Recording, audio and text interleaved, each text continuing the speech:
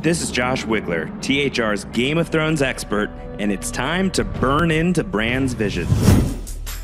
In Blood of My Blood, while escaping an army of the undead in the present, Bran Stark continues having visions of the past. Many of the images he sees are ones we've seen before, including his father's death and the birth of Daenerys Targaryen's dragons. But there are two new images worth poring over in greater detail, starting with the Mad King Aerys Targaryen, Dany's insane father who nearly burned King's Landing to the ground on his final night alive. Instead, Jaime Lannister, one of Aerys' sworn protectors, killed the madman and saved the city, earning his cruel reputation as Kingslayer, a nickname he's not so fond of. Some theories suggest that Bran Stark's trips to the past will directly drive the Mad King insane, meaning Bran might be responsible for the burn them all of it all.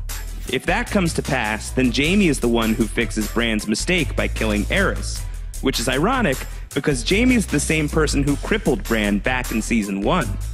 How's that for karma coming full circle? Also in his vision, Bran returns to the Tower of Joy and sees his father Ned asking about his sister. A split second later, we see an image of a hand covered in blood hovering over a belly with a surgical incision. Smart Money suggests this is Lyanna Stark, Ned's sister, and very likely the mother of everyone's favorite resurrected bastard, Jon Snow.